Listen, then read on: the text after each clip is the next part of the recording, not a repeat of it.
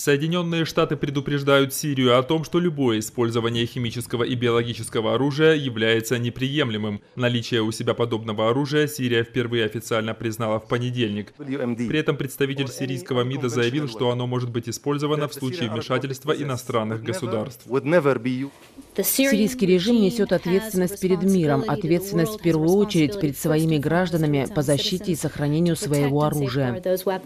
Международное давление на президента Башара Аль-Асада за последнюю неделю значительно усилилось. Наряду с этим повстанцы начали наступление на два крупнейших города страны и с помощью террориста-смертника провели атаку на высших чиновников государства из близкого окружения президента. Также в понедельник Европейский Союз ужесточил эмбарго на поставку в Сирию оружия.